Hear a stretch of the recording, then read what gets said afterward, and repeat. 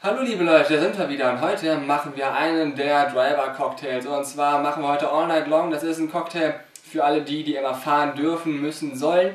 Ja, und ähm, schreibt mal eure Lieblings-Driver Cocktails in die Kommentare oder welche ich mal nachmachen soll für euch.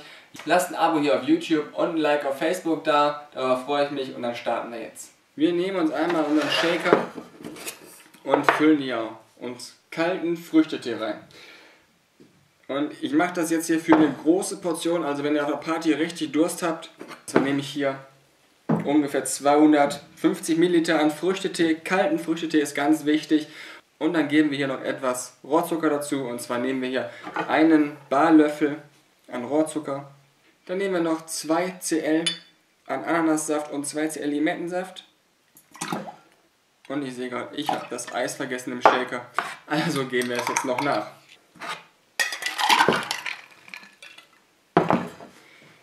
Das sollte euch nicht passieren, deswegen das Eis immer vorher reingeben. Und noch was, ich weiß, in der Cocktailszene ist der hier nicht ganz so gut ähm, angesehen, weil lieber natürlich frische Limetten nehmen. Aber aus wirtschaftlichen Gründen nehme ich lieber diesen hier, weil da kriegt man mehr raus, hat man keinen Abfall. Und ähm, ich finde 100% Direktsaft, der ist völlig in Ordnung, ist besser als Konzentrat. Und dann shaken wir das alles jetzt. Und dann nehmen wir uns ein großes Glas. Ich nehme jetzt hier so ein Hurricane-Glas, so ein Tulpenglas und habe dann jetzt hier den Cocktail und gieße alles da rein. Und das war's auch schon wieder. Lasst ein Like hier bei dem Video da, wenn es euch gefallen hat.